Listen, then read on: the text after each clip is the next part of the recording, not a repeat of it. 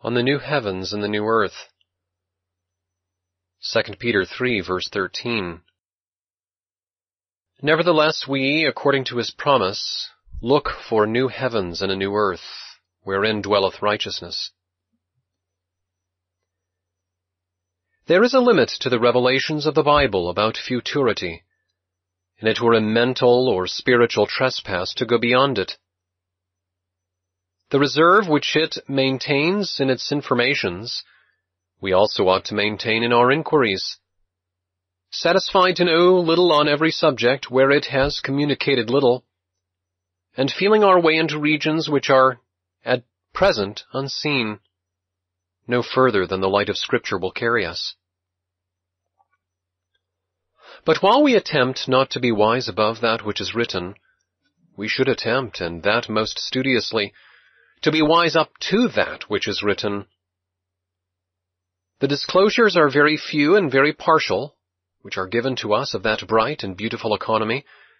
which is to survive the ruins of our present one. But still there are such disclosures, and on the principle of the things that are revealed belonging unto us, we have a right to walk up and down, for the purpose of observation over the whole actual extent of them. What is made known of the details of immortality is but small in the amount,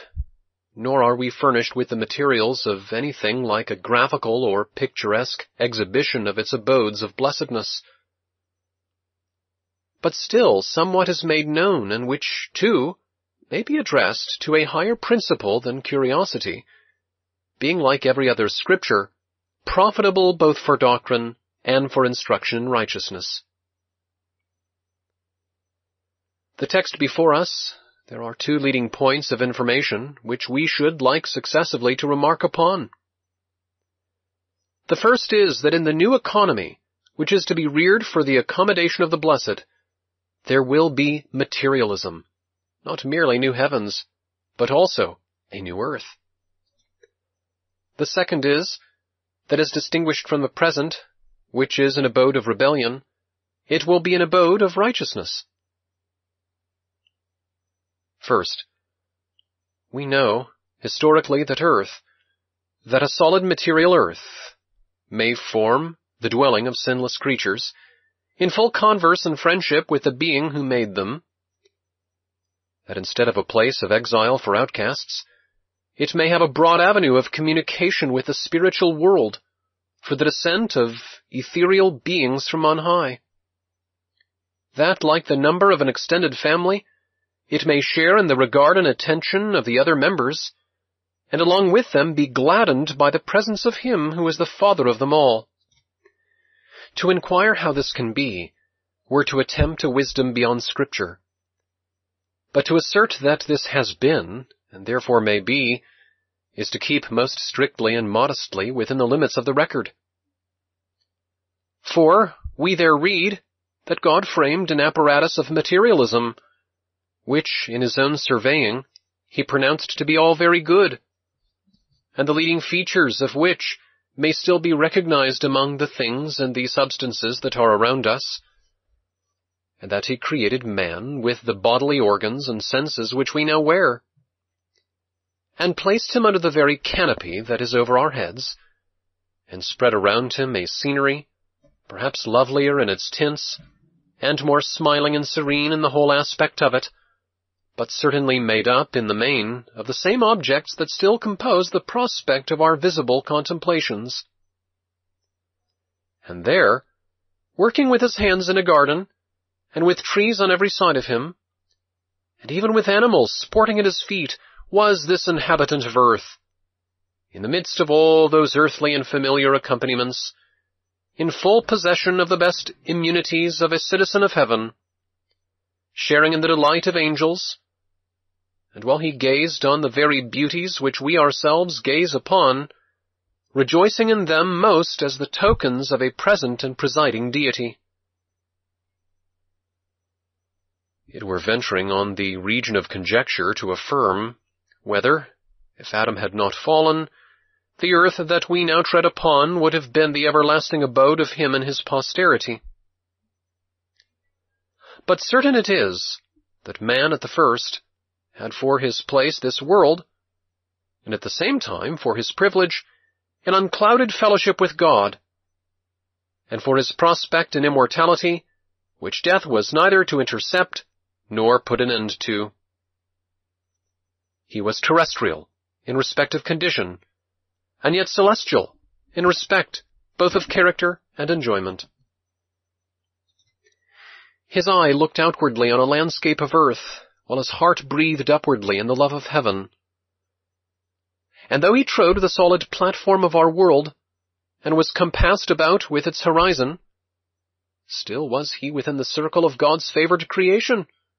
and took his place among the freemen and the denizens of the great spiritual commonwealth. This may serve to rectify an imagination, of which we think that all must be conscious, as if the grossness of materialism was only for those who had degenerated into the grossness of sin. And that, when a spiritualizing process had purged away all our corruption, then by the stepping stones of a death and a resurrection, we should be borne away to some ethereal region, where sense and body and all in the shape either of audible sound or of tangible substance were unknown and hence that strangeness of impression which is felt by you, should the supposition be offered that in the place of eternal blessedness there will be ground to walk upon, or scenes of luxuriance to delight the corporeal senses, or the kindly intercourse of friends talking familiarly, and by articulate converse together, or in short, anything that has the least resemblance to a local territory, filled with various accommodations and peopled over its whole extent by creatures formed like ourselves, having bodies such as we now wear, and faculties of perception, and thought, and mutual communication, such as we now exercise. The common imagination that we have of paradise on the other side of death is that of a lofty aerial region where the inmates float in ether, or are mysteriously suspended upon nothing, or all the warm and sensible accompaniments which give such an expression of strength and life and coloring to our present habitation, are attenuated into a sort of spiritual element that is meager and imperceptible and utterly uninviting to the eye of mortals here below, where every vestige of materialism is done away, and nothing left but certain unearthly scenes that have no power of allurement, and certain unearthly ecstasies with which it is felt impossible to sympathize. The holders of this imagination forget all the while that really there is no essential connection between materialism and sin. That the world which we now inhabit had all the amplitude and solidity of its present materialism before sin entered into it that God, so far on that account, from looking slightly upon it, after it had received the last touch of his creating hand, reviewed the earth and the waters and the firmament and all the green herbage, with the living creatures and the man whom he had raised in dominion over them. And he saw everything that he had made, and behold, it was all very good. They forget that on the birth of materialism, when it stood out in the freshness of those glories which the great architect of nature had impressed upon it, that then the morning stars sang together, and all the sons of God shouted for joy. They forgot the appeals that are made everywhere in the Bible to this material workmanship, and how from the face of these visible heavens, and the garniture of this earth that we tread upon, the greatness and the goodness of God are reflected on the view of his worshippers. No, my brethren, the object of the administration we sit under is to extirpate sin, but it is not to sweep away materialism. By the convulsions of the last day, it may be shaken and broken down from its present arrangements, and thrown into such fitful agitations as that the whole of its existing framework shall fall to pieces, and with a heat so fervent as to melt its most solid elements, may it be utterly dissolved. And thus may the earth again become without form and void, but without one particle of its substance going into annihilation. Out of the ruins of this second chaos, may another heaven and another earth be made to arise, and a new materialism, with other aspects of magnificence and beauty, emerge from the wreck of this mighty transformation, and the world be peopled as before with the varieties of material loveliness, and space be again lighted up into a firmament of material splendor. Were our place of everlasting blessedness so purely spiritual as it is commonly imagined, then the soul of man, after, at death, having quitted his body, would quit it conclusively. That mass of materialism with which it is associated upon earth, and which many regard as a load and an encumbrance, would have leave to putrefy in the grave without being revisited by supernatural power or raised again out of the inanimate dust into which it had resolved. If the body be indeed a clog and a confinement to the spirit, instead of its commodious tenement, then would the spirit feel lightened by the departure it had made, and expatiate in all the buoyancy of its emancipated powers over a scene of enlargement. And this is, doubtless, the prevailing imagination. But why then, after having made its escape from such a thraldom, should it ever occur to the prison house of its old materialism, if a prison house it really be? Why should the disengaged spirit again be fastened to the drag of that grosser and heavier substance, which many think has only the effect of weighing down its activity and infusing into the pure element of mind an ingredient which serves to cloud and to enfeeble it? In other words, what is the use of a day of resurrection if the union which then takes place is to deaden or to reduce all those energies that are commonly ascribed to the living principle in a state of separation? But as a proof of some metaphysical delusion upon this subject, the product, perhaps, of a wrong, though fashionable philosophy, it would appear that to embody the spirit is not the stepping stone to its degradation, but to its preferment. The last day will be a day of triumph to the righteous, because the day of the reentrance of the Spirit to its much-loved abode, or its faculties, so far from being shut up into captivity, will find their free and kindred development in such material organs as are suited to them. The fact of the resurrection proves that, with man at least, the state of a disembodied spirit is a state of unnatural violence, and that the resurrection of his body is an essential step to the highest perfection of which he is susceptible. And it is indeed an homage to that materialism, which many are for expunging from the future state of the universe altogether, that ere the immaterial soul of man has reached the ultimate glory and blessedness which are designed for it, it must return and knock at that very grave where lie the mouldered remains of the body which it wore, and their inquisition must be made for the flesh, and the sinews, and the bones,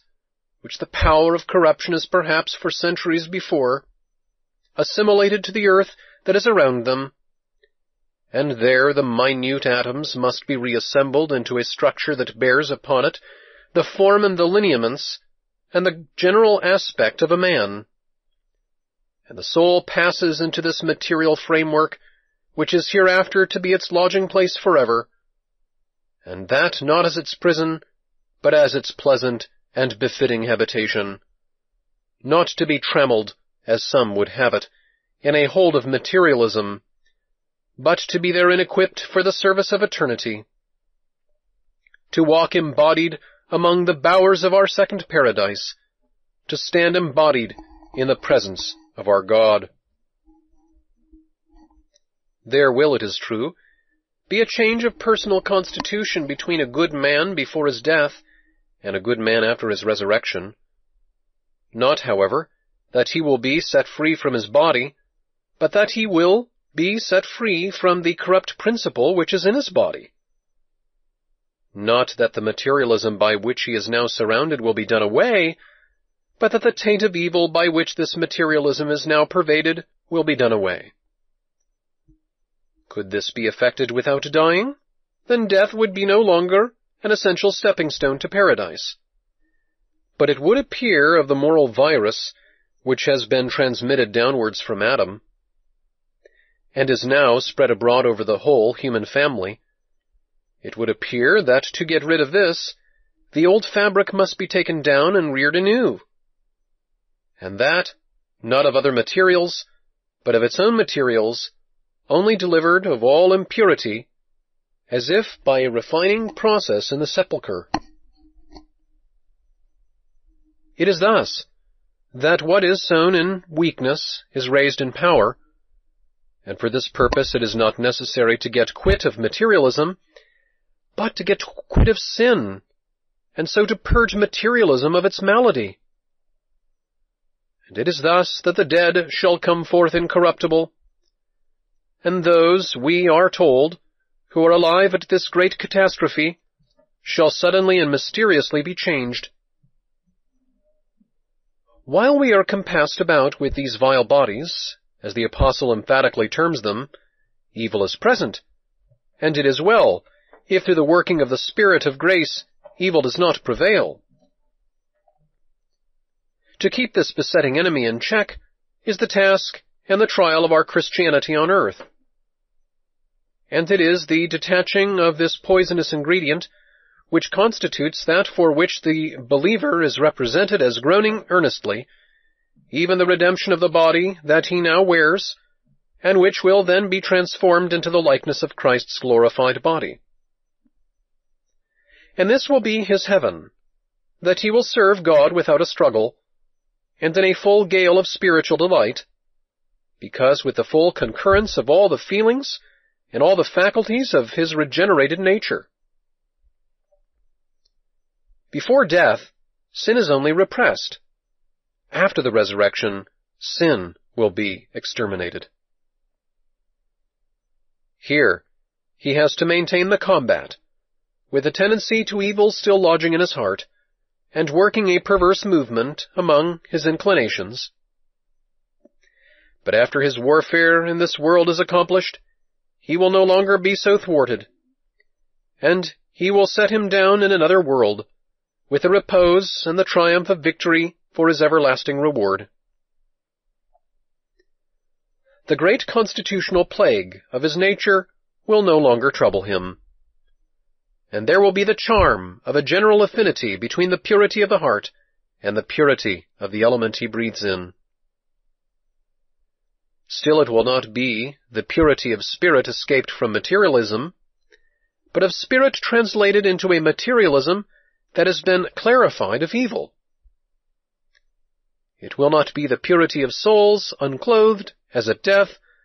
but the purity of souls that have again been clothed upon at the resurrection. But the highest homage that we know of to materialism is that which God, manifest in the flesh, has rendered to it. That he, the divinity, should have wrapped his unfathomable essence in one of its coverings, and expatiated amongst us in the palpable form and structure of a man, and that he should have chosen such a tenement, not as a temporary abode,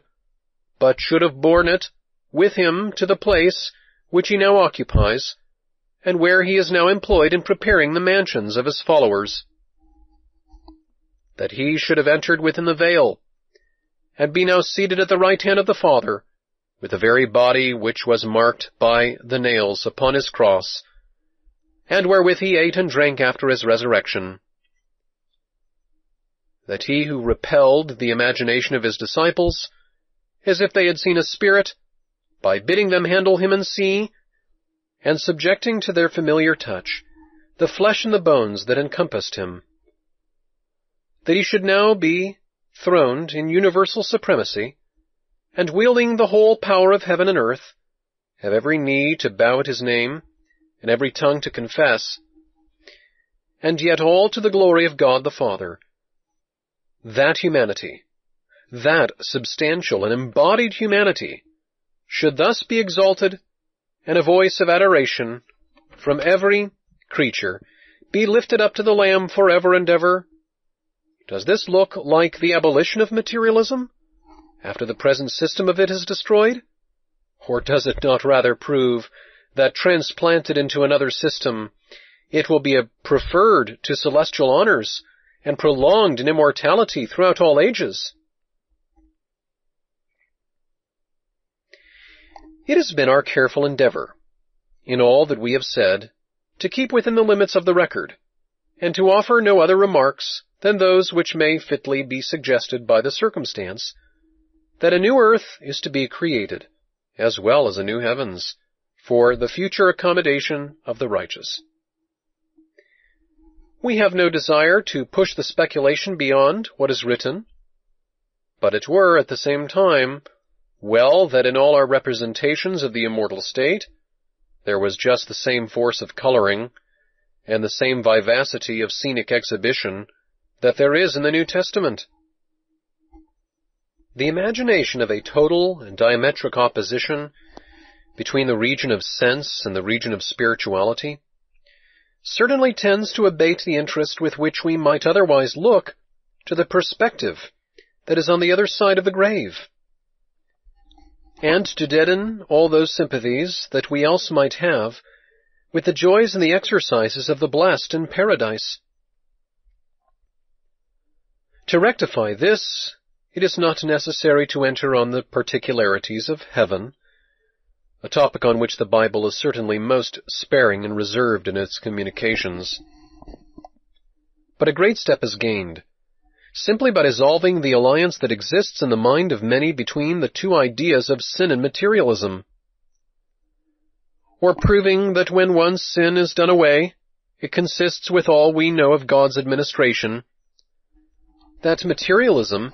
shall be perpetuated in the full bloom and vigor of immortality. It altogether holds out a warmer and more alluring picture of the Elysium that awaits us, when told that there will be beauty to delight the eye, and music to regale the ear,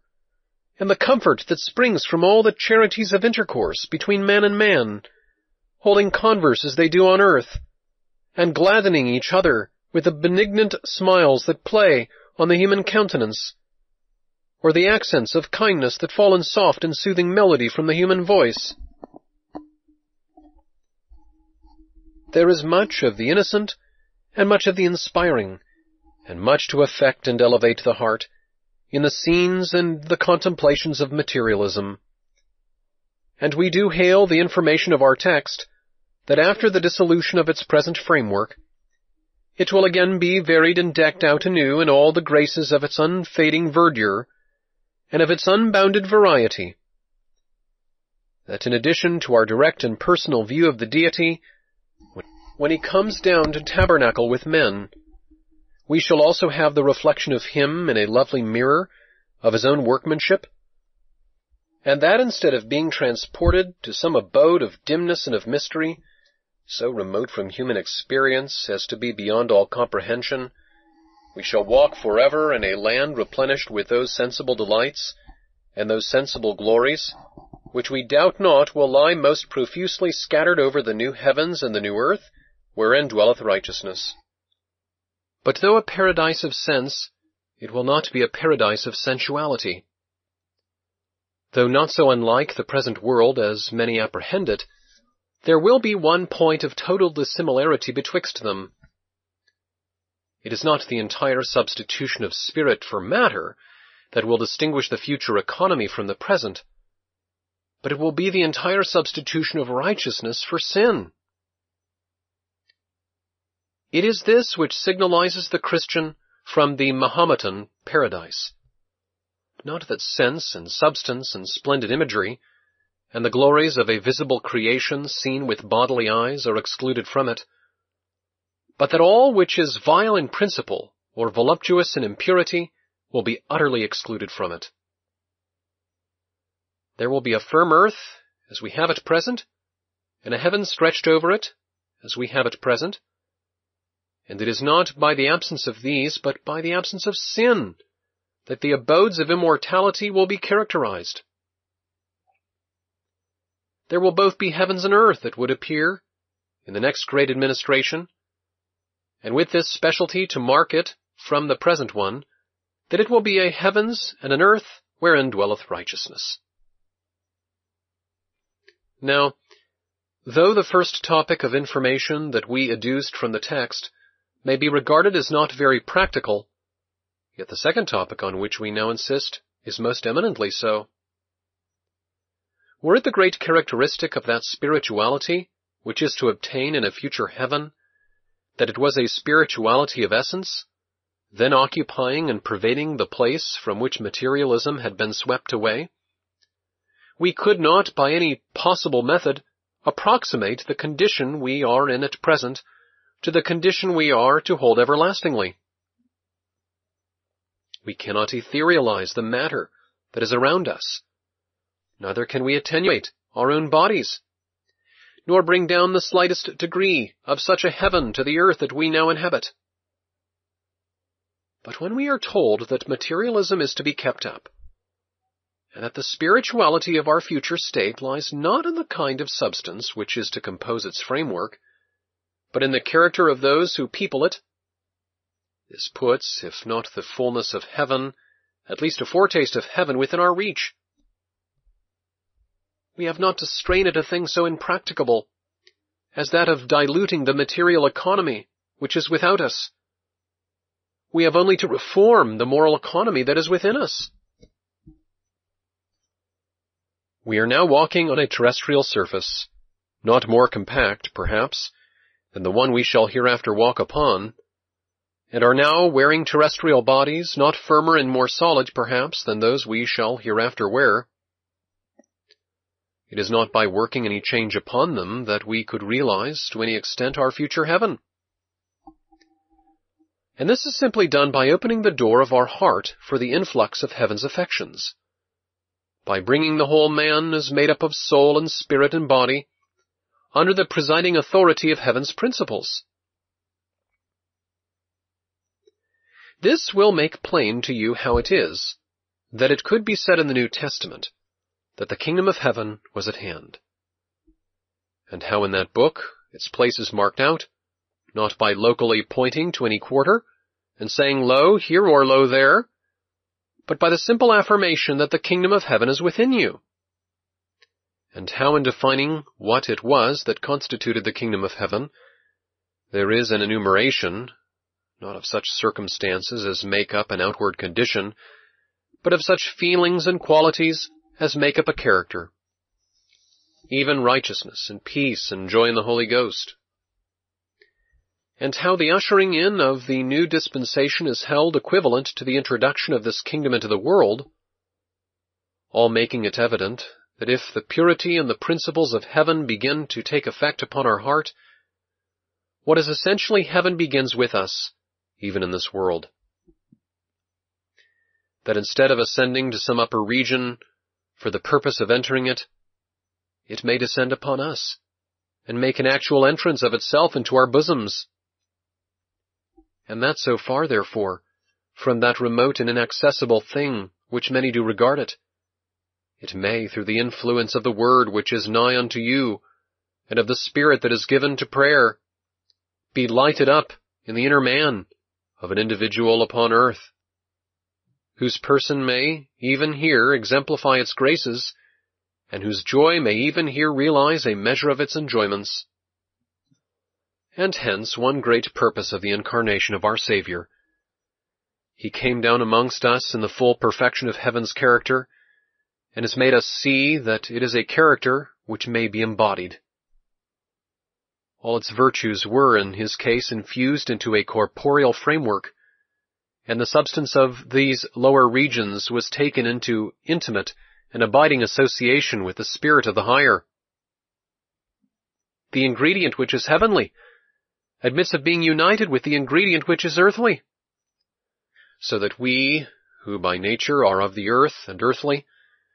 could we catch of that pure and celestial element which made the man Christ Jesus to differ from all other men? Then might we too be formed into that character, by which it is that the members of the family above differ from those of the outcast family beneath. Now it is expressly said of him that he is set before us as an example. And we are required to look to that living exhibition of him, where all the graces of the upper sanctuary are beheld as in a picture. And instead of an abstract, we have in his history a familiar representation of such worth and piety and excellence as could they only be stamped upon our own persons and borne along with us to the place where he now dwelleth. Instead of being shunned as aliens, we should be welcomed and recognized as seemly companions for the inmates of that place of holiness. And in truth, the great work of Christ's disciples upon earth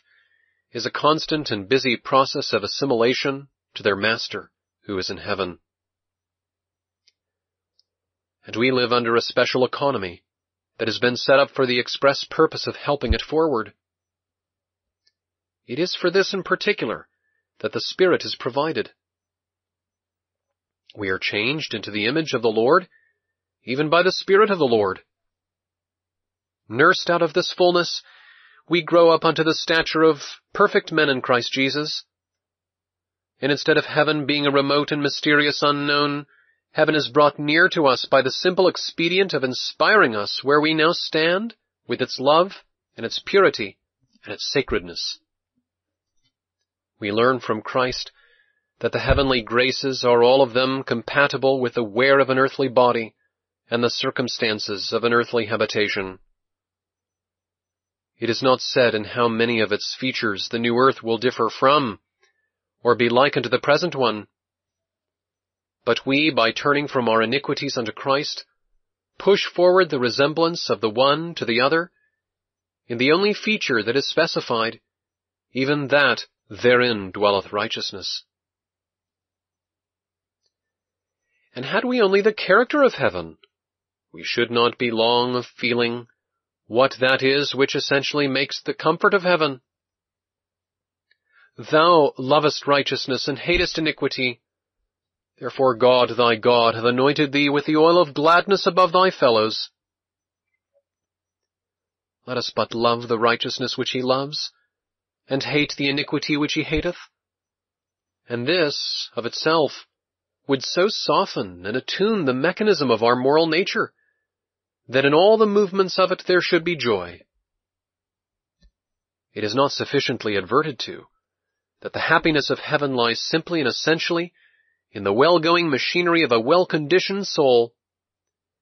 and that according to its measure it is the same in kind with the happiness of God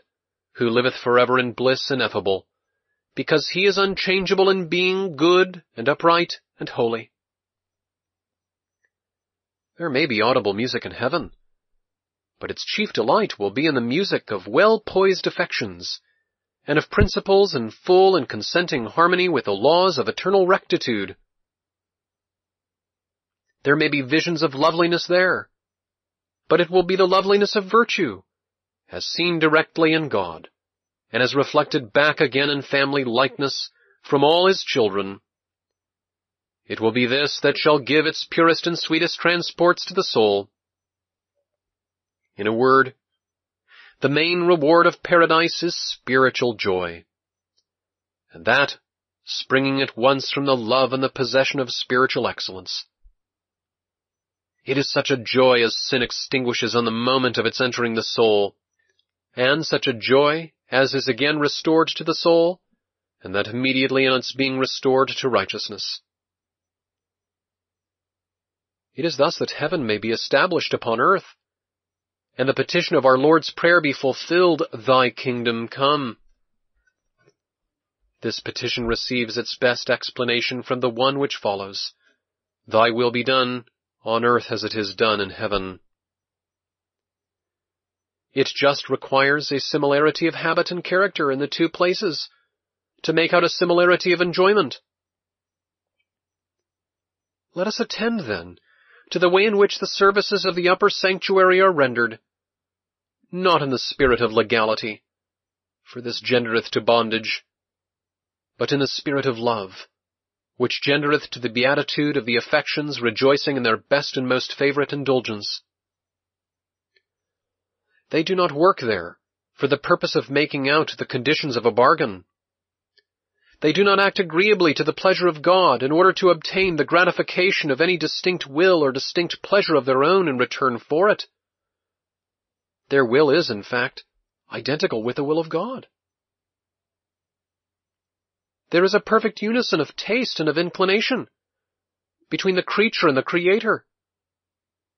They are in their element when they are feeling righteously and doing righteously. Obedience is not a drudgery, but delight to them. And as much as there is of the congenial between animal nature and the food that is suitable to it, so much is there of the congenial between the moral nature of heaven and its sacred employments and services. Let the will of God, then, be done here, as it is done there, and not only will character and conduct be the same here as there, but they will also resemble each other in the style, though not in the degree, of their blessedness. The happiness of heaven will be exemplified upon earth along with the virtue of heaven. For in truth the main ingredient of that happiness is not given them in payment for work, but it lies in the love they bear to the work itself. A man is never happier than when employed in that which he likes best. This is all a question of taste. But should such a taste be given as to make it a man's meat and drink to do the will of his Father, then is he in perfect readiness for being carried upwards to heaven, and placed beside the pure river of water of life, that proceedeth out of the throne of God and of the Lamb, this is the way in which you make a heaven upon earth, not by heaping your reluctant offers at the shrine of legality, but by serving God because you love Him, and doing His will because you delight to do Him honor. And here we may remark that the only possible conveyance for this new principle into the heart is the gospel of Jesus Christ. That in no other way than through the acceptance of its free pardon, sealed by the blood of an atonement, which exalts the lawgiver, can the soul of man be both emancipated from the fear of terror and solemnized into the fear of humble and holy reverence. That it is only in conjunction with a faith that justifies, that the love of gratitude and the love of moral esteem are made to arise in the bosom of regenerated man, and therefore to bring down the virtues of heaven,